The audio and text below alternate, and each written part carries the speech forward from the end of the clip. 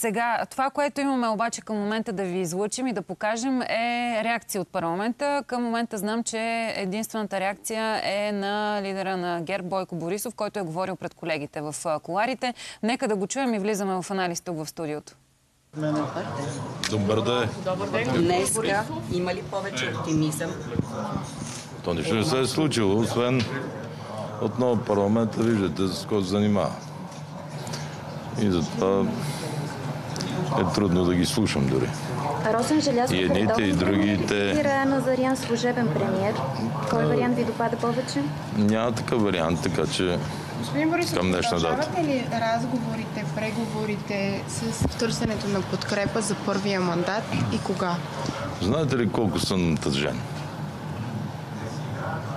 Европейската комисия излезе с доклад как българския народ е пропилял времето и милиарди, много милиарди от плана за възстановяване, от еврофондовете, за съжаление, не се използват от българите.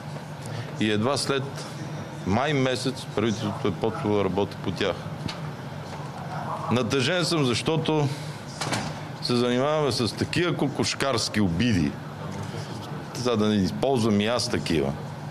При положение, че нямаме план, милиардите стоят, предстои среща на най-висока ниво в НАТО.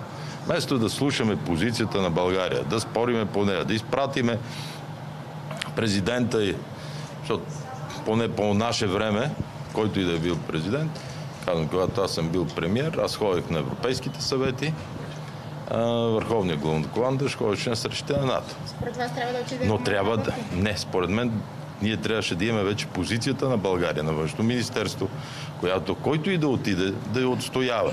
И понеже ние си вършихме тогава работа, да външно министерство изготвяше позицията и президента Радев тогава, когато отиваше, или Плевнелиев, или който и да е, отиваше с решение на правителство.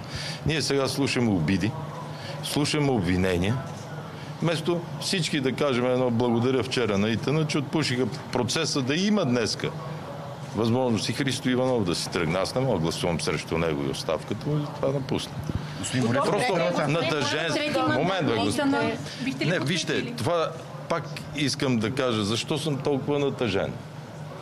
Защото нищо от важните неща, които България пропуска в момента, не се коментира от вас. А какво ще да се случи?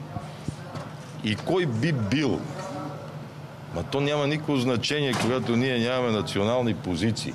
Нямаме парламент, който да се действително, без значение кой от коя партия защити националния интерес. Звучи като клише, но то е факт. А защо И ви давам пример. Благодаря. Ама господин Борисов,